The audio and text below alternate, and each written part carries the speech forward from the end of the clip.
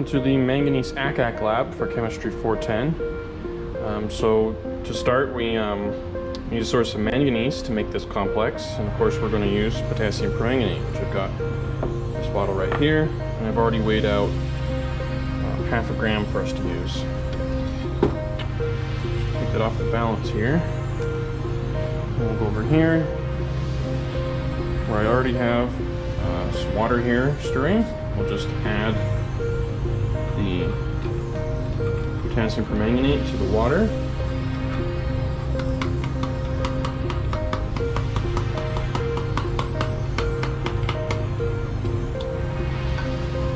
And then we'll stir that and heat it a little bit to ensure that it all dissolves. And we'll be back when that is done.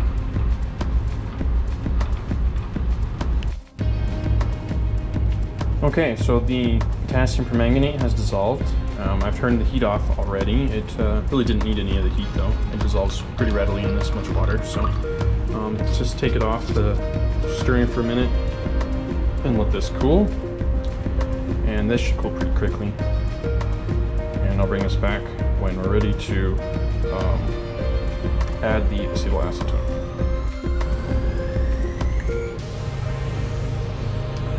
Okay, so the potassium permanganate solution is dissolved, and now I've got it here on this hot plate, or uh, in the ice bath here to um, cool down to room temperature. So we're gonna go ahead and turn the stirring up on that so we can add the uh, acetyl acetone, or 2,4-pentane-dione, as it's properly called. So I've got two milliliters of 2,4-pentane-dione here in this uh, graduated cylinder, and I'm gonna add it here slowly to this solution potassium permanganate. We'll do this in a couple of aliquots here so we don't have it over foam and cause us any problems.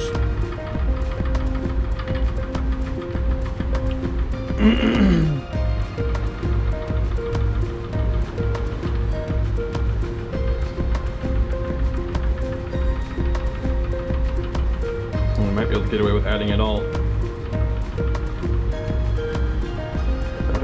Over.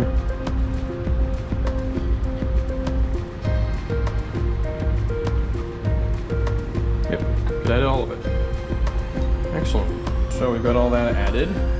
It's definitely brown now, no longer purple. And we will turn up our heat, bring that to a boil, and uh, we'll boil that for five minutes and then put it back in our ice bath. So we will bring us back when we've got this in the ice bath, I think. So here's the solution after boiling for five minutes. Uh, just brown, there's sort of some chunks floating around in there, but anyway, so I'm gonna just remove the stir bar here. Just to save having to do that later. Put it in our ice. And we'll be back when we're ready to filter.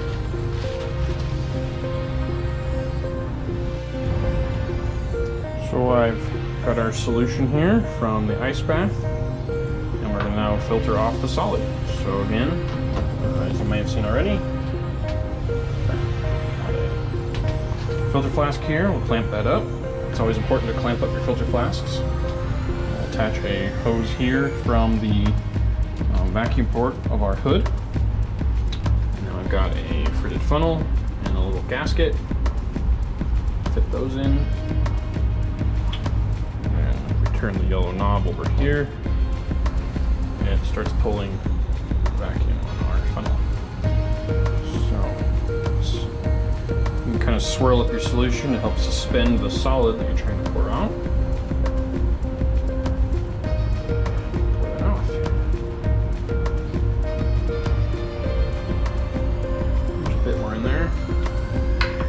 There's scrape some of this out of our flask or our beaker here.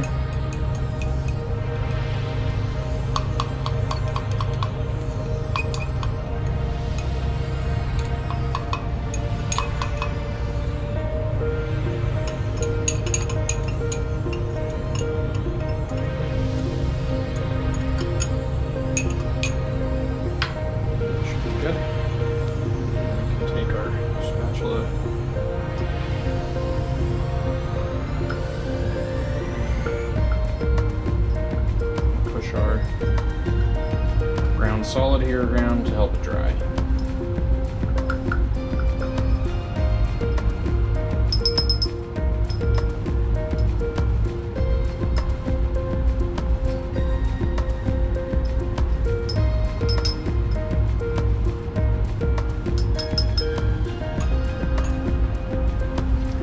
So after we let this dry, we would weigh it and collect it, and then we would move on to um, the uh, NMR portion of this lab. So, so I thought I would show that we can, uh, how much product we collect here. So I've got a weigh boat tared out on the balance. Just take that over here.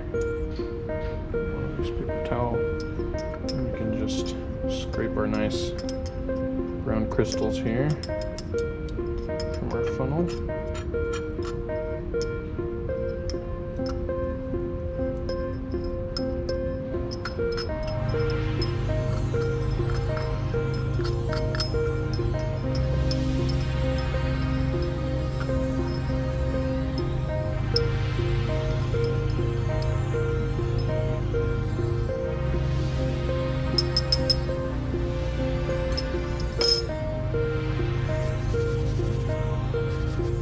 Lot. Least it seems like it. It's kind of fluffy though, so. Well, it looks like right around one gram. So.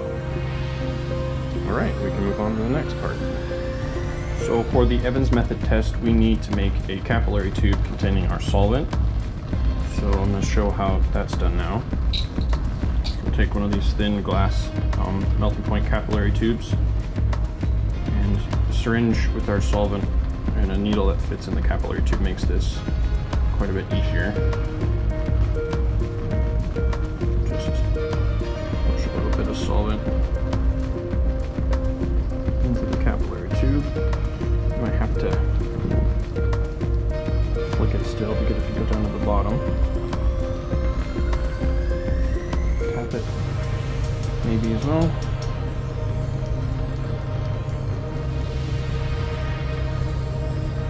Careful doing this. With the needle so you don't poke yourself.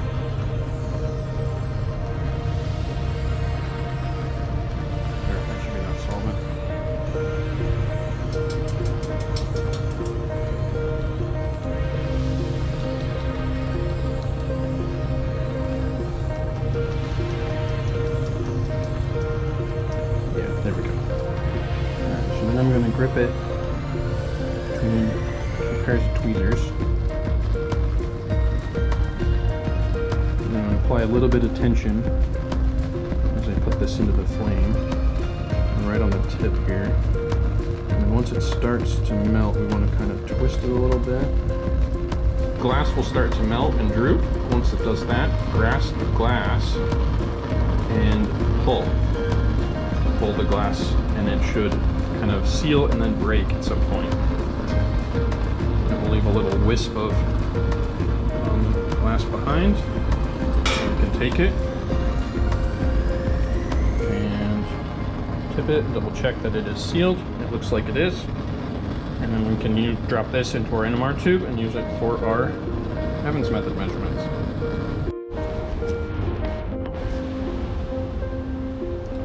So now to prepare our sample of the manganese acac with the um, capillary tube we just made, um, I'm going to demonstrate that now. So I've got the capillary tube. First thing we're to do is we're to actually just drop that into our NMR tube. We want that so that the um, portion with the solvent is at the bottom. Set that aside for now. Alright, then we need to measure out um, precisely an amount of our manganese acac between 2 and 5 milligrams. We'll just do that into this vial here.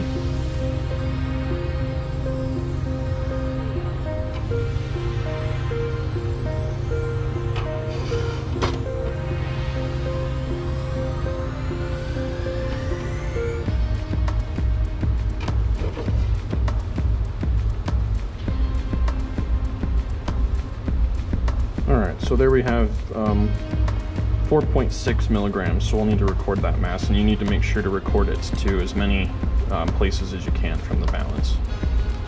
Right, so now that we have that, We need to measure out our solvent. So I've got here chloroform, deuterated chloroform. And we're gonna measure that out with this syringe that has some pretty fine graduations on it. And we need about 700 microliters, so that'll be 0.0, the 0.7 here. And we'll actually look at the mark and be sure to record um, to the uh, next decimal place after the seven here, how many milliliters or microliters we have.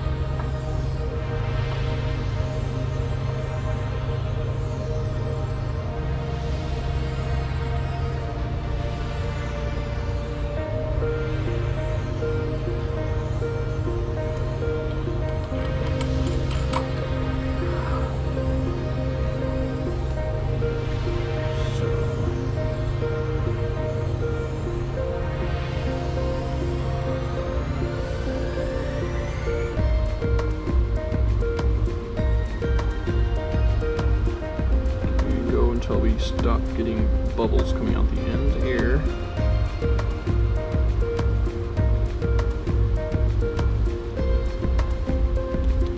I think we're there.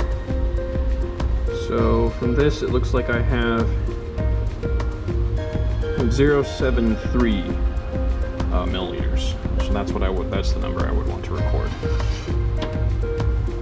So we'll take our compound off of the balance push our solvent into the vial here.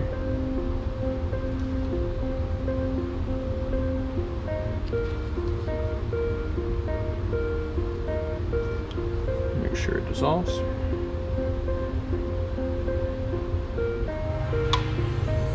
Our NMR tube with our capillary in it already. Pull up our solution out of the vial.